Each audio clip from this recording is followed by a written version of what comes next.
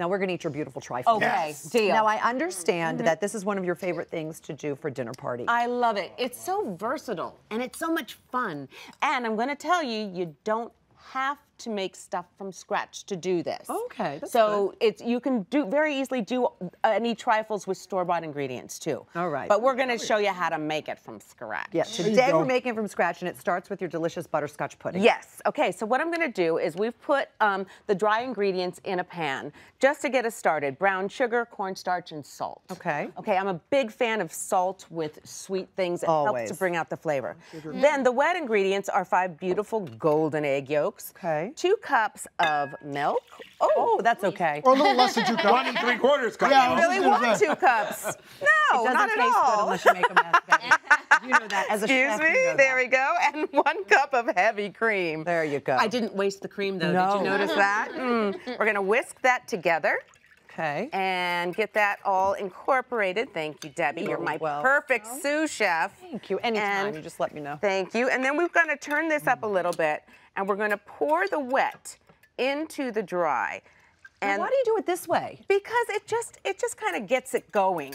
It's a little faster way. If you can smell, you can smell the brown sugar already. Already- starting to yeah. get- yeah. Oh. And you know that concept that you said about the butterscotch because you normally make Caramelize it. caramel. Ah. It does add a little bit extra on that. So we're we're mixing this. You got to make sure to continue to stir it because it's eggs, right? You don't want them to scramble. You don't want them to scramble. But if you do end up with scrambled eggs, when you put it into when when you um, add before you add the butter and the vanilla, you can strain it. Oh, so okay, you- that's if good. you- there's I- always ways to fix things. You could fix that. I didn't know You that. You can fix it. Yes. Oh, that's great. To Or you know, can call Betty. it a scrambled egg pudding. Uh, right. a butterscotch scrambled egg. There you go. If you made it, good. it would still taste good. Ah, thank you. So you'll see, it'll start to thicken up. It takes a while. How long does it usually like take? five, seven minutes. Okay, Don't that's give up. quick. Yeah, it's it's because it's got the cornstarch in it, and the eggs will both Okay. help it thicken. We're gonna switch. I'm gonna come over here, over here so this doesn't ruin. Keep doing Perfect, that. And you then after that. five to seven minutes. then it starts to look like this.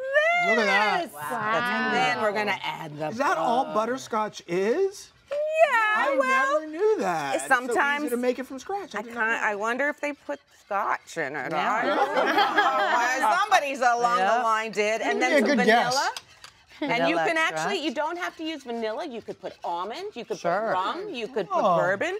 All of those good things. Can you smell that? Oh, it smells Oh, so it smells so delicious. Okay, I'm gonna move this right, over very so we good. can continue to get this trifle going. And this is this guy. What we want to do after it's all melted in there, Yummy. we want to then refrigerate it because Okay. we need to let it cool down to assemble the trifle. Okay. so if you don't eat it like that, we it's so good. And and we left a little bit out with the milk spill, oh, but Oh. there's plenty. There's mm-hmm. plenty. All right, so we have our refrigerated butterscotch pudding in there. Mm-hmm. Now you've also made a beautiful pumpkin bread Yes. to go along with this, Yes. and a pomegranate whipped cream. Of course. That is Yes. out of this world.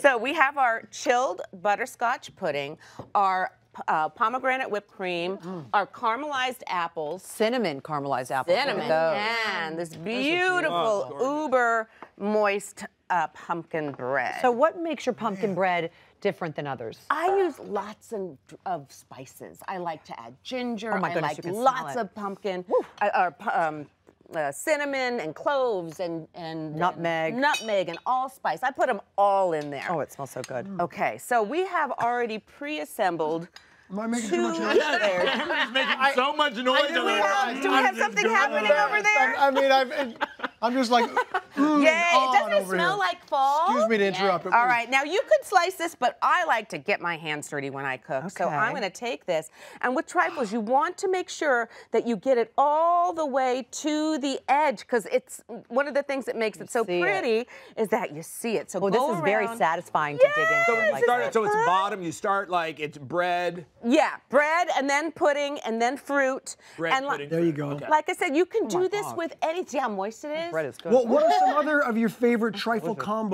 Oh, that you you'd know like what? to put Wow. together? I am a Just out of sucker curiosity. for um, peanut butter, bananas, and chocolate. So if you put in a trifle? Well, you had me. Imagine that. okay, and then we're gonna pour this so. right on top pudding. of there. They're so fancy looking. Spread that out. Trifles always are so impressive You when you put it on a see? table. Just spread that out. And you see, Bread. you can do Oh. the presentation version or you can do the individuals, which are so This fun. I see. So you you constructed these individually. Like you didn't like kind of scoop it out of that, right? Because that kind of Right. already, already yes. mixes it together. Yes. And All right. then, Oh, the course, bread. We've got it. I know. do- Deb, you gonna be okay? No. Are you gonna be okay? We're gonna so do good. now these cinnamon apples, which are very easy to make as well. You could do pears. Oh. You could do um, you could do any kind of fruit that you like. And how did you make these exactly? These guys, you just take the skin off, you slice them up, and then you put a little brown sugar and butter and all this seasoning, uh, and then bake them. That's it. Bake 'em. And they get good all gooey looks, like that. It tastes even better. Okay, and now you put you, the beautiful. you, It just keeps you get coming. to do it. Do I just just right in the middle? Dollop. like that? Dollop. Just beautiful. Yes, and so what we did was we made whipped cream. Yep. We added a little bit of cornstarch to the whipped cream because it Okay. helps to, to, to, to, to set it Oh, up so it won't fall.